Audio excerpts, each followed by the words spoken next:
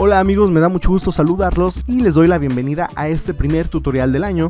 En esta ocasión vamos a ver cómo crear un planeta en miniatura.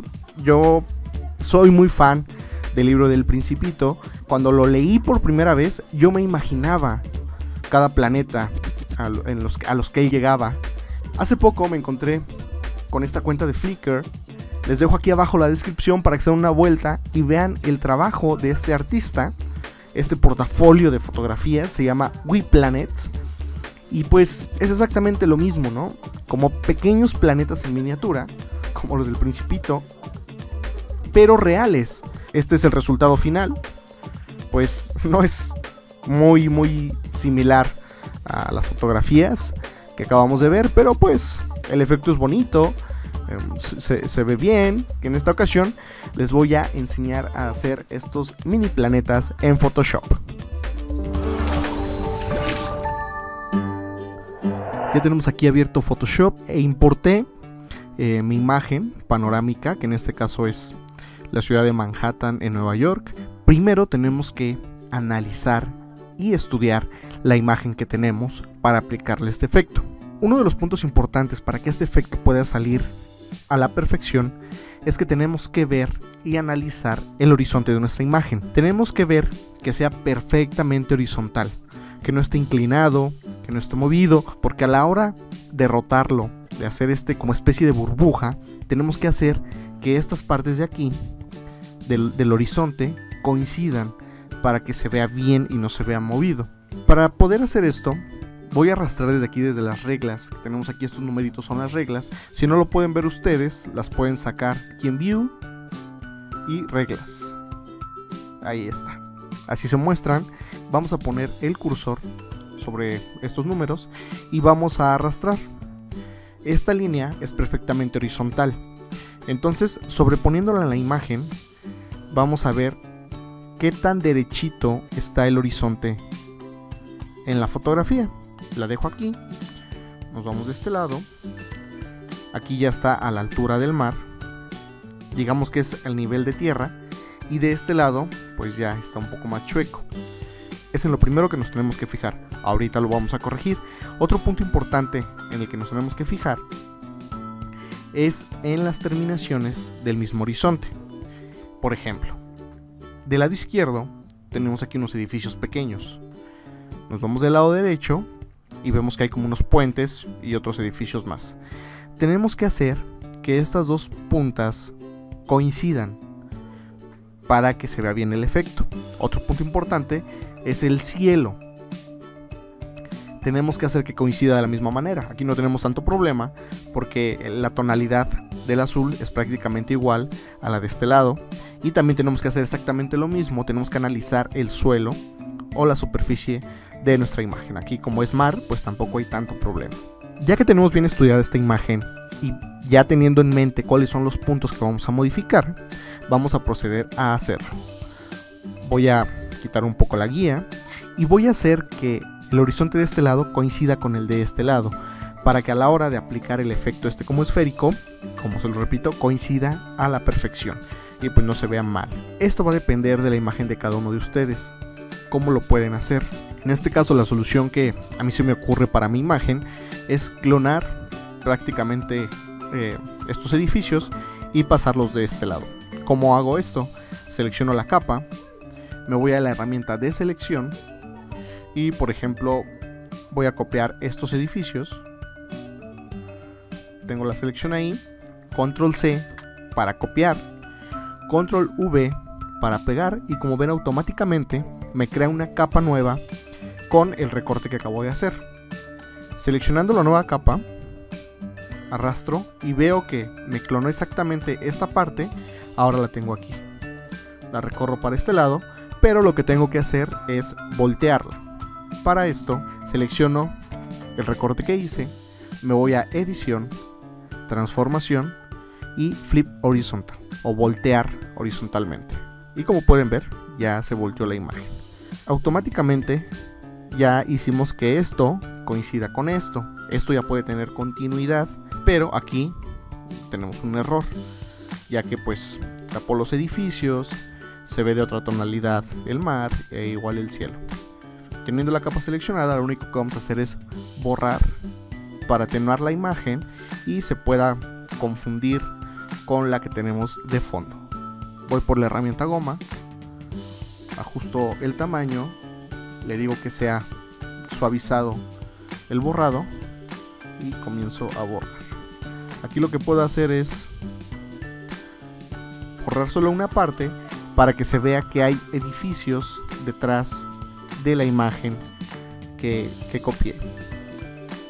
Sigo aquí suavizando con la goma, igual el mar, para que no me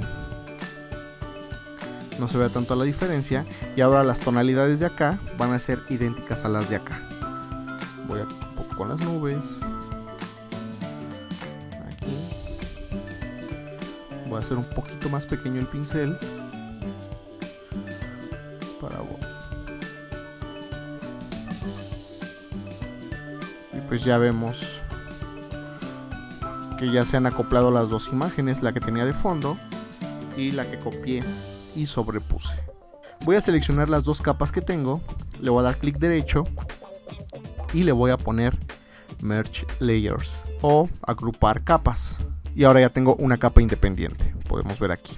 Vamos a corregir lo que es el horizonte. Vuelvo a bajar mi regla. Eh, me vengo aquí para colocarla exactamente en donde termina la tierra y comienza el mar, es por aquí, y me voy del otro lado para ver cuánta diferencia tengo. Como pueden ver, ya está exactamente igual, porque les repito, cloné esta parte en la parte de acá. Entonces ya coincide perfectamente. Les repito que esto va a depender de su imagen. A lo mejor ustedes van a tener que rotar un poco la imagen por ejemplo, de esta manera o de esta manera para que su horizonte cuadre y sea perfectamente parejito. Entonces ya tenemos la imagen parejita y ya tenemos los bordes que van a coincidir. Les comento que la proporción cielo-tierra va a definir el tamaño del planeta. Si tenemos mucha tierra eh, del horizonte hacia abajo, el planeta va a ser muy grande. Si tenemos poca tierra, el planeta va a ser más pequeño. Y la proporción ancho y alto va a definir el tamaño de los edificios. Entonces, si nosotros queremos poner que el planeta sea más pequeño, tenemos que recortar la imagen de tal manera que la Tierra sea mucho menos que el cielo.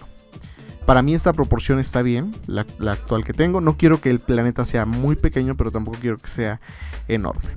Esta decisión la van a tomar ustedes de cómo quieren que su planeta pues tenga la proporción que ustedes necesitan. El siguiente paso es crear nuestra imagen cuadrada. Voy a quitar esta línea que ya no nos sirve. Esta imagen la vamos a hacer cuadrada con respecto a lo ancho. ¿Qué quiere decir esto? Que no la voy a reducir de lo ancho, sino la voy a ampliar en lo alto.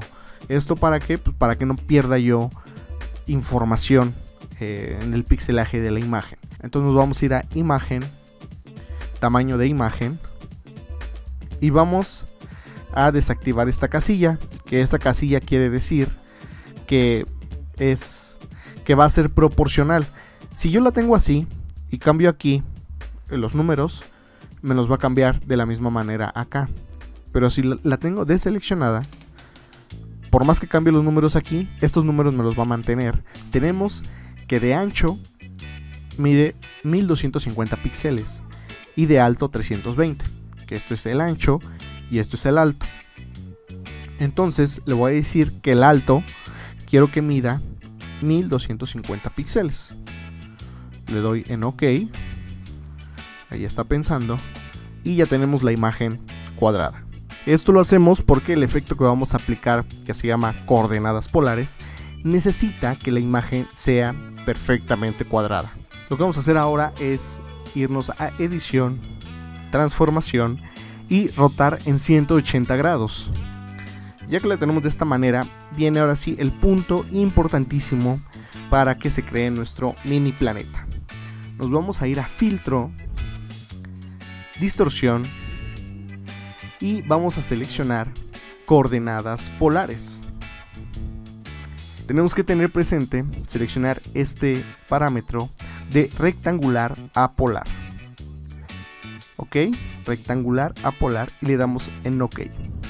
Y como pueden ver, automáticamente ya tenemos nuestro mini planeta. Tenemos aquí lo que es el suelo y pues los edificios alrededor de este círculo que aparenta el planeta. Podemos ver aquí, se ve como si fuera un espejo, pero pues eso se puede ir corrigiendo, por ejemplo, con el tampón de clonar, lo selecciono y para que no se vea espejo, eh, voy a clonar un poco el cielo de esta manera. Lo tampo aquí, voy a quitar este edificio de aquí. voy a tapar esto. Entonces ya nada más aquí es ir corrigiendo detalles pues, para que se vea un poco más realista nuestro efecto. Por ejemplo, esto, esto sucede si roto la imagen antes de aplicar el efecto de coordenadas polares. ¿Qué pasaría eh, si no la roto? Aquí, no la roto 180 grados, me voy a filtro, distorsión, coordenadas polares, rectangular a polar. Ok. Y ahora, ¿qué sucede? Hace todo lo contrario. Es aquí como si fuera un efecto de ojo de pez. Que muchos lentes especializados para fotografía y video lo hacen. Pues son algunas variaciones. Tenemos lo que es el mini planeta y también lo que es el ojo de pez. En este caso, este es el efecto que estábamos buscando. Es muy rápido, muy sencillo y se ve muy bonito. Hasta aquí este tutorial. Espero que les haya servido demasiado, que les haya gustado. Les agradezco mucho por suscribirse al canal. Un saludo a mis amigos de España, que es el segundo lugar donde más visitan mi canal. En primer lugar, obviamente, está México. Les mando un saludo hasta España. Y pues, si tienen alguna duda, no olviden seguirme en Twitter en arroba-keyframe. Y pues nos estamos viendo en el siguiente tutorial. Compartan, denle like y suscríbanse. Muchas gracias y nos vemos muy pronto.